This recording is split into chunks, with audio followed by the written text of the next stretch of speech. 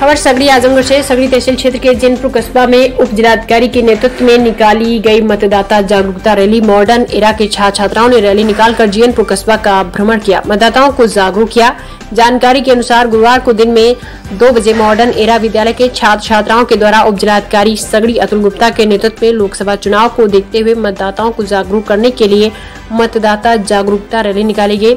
जिसको उप जिलाधिकारी अतुल गुप्ता व खंड शिक्षा अधिकारी के एन सिंह ने हरी झंडी दिखाकर रवाना किया।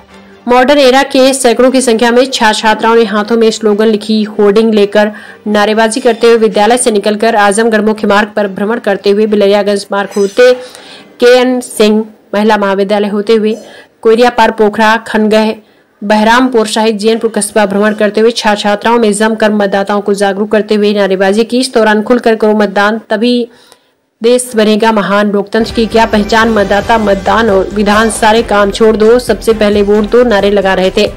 इस दौरान उप जिलाधिकारी सगड़ी अतुल गुप्ता व खंड शिक्षा अधिकारी के एन सिंह, विद्यालय की प्रबंधक निश्चल सिंह, नगर पंचायत अध्यक्ष पुरुषोत्तम यादव सहित दर्जनों की संख्या में विद्यालय के शिक्षक, शिक्षिका साथ साथ चल रहे थे। वहीं उप जिलाधिकारी ने छात्र छात्राओं को 18 वर्ष की उम्र पूरी कर मतदाता बनने के लिए प्रेरित किया। इस दौरान सैकड़ों की संख्या में नगरवासियों ने मतदाता जागरूकता रैली से सीख ली। कि 100 परसेंट वोटिंग हो।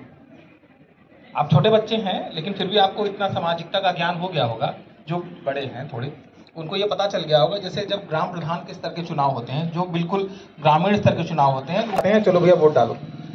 क्योंकि वहाँ पर संख्या बल बहुत कम होता है, हज़ार बारह सौ, पंद्रह सौ, तेरह सौ, चौदह सौ, दो हज़ार, बाईस सौ, इससे ज़्यादा व्यक्ति होते नहीं है, जो प्रॉपर इलेक्टर्स हों पहले चलो करें मतदान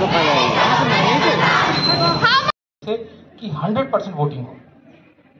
आप छोटे बच्चे हैं, लेकिन फिर भी आपको इतना सामाजिकता का ज्ञान हो गया होगा, जो बड़े हैं थोड़े, उनको ये पता चल गया होगा, जैसे जब ग्राम प्रधान के स्तर के चुनाव होते हैं, जो बिल्कुल ग्रामीण स्तर के चुनाव होते हैं, कहते हैं, चलो भैया, वोट डालो।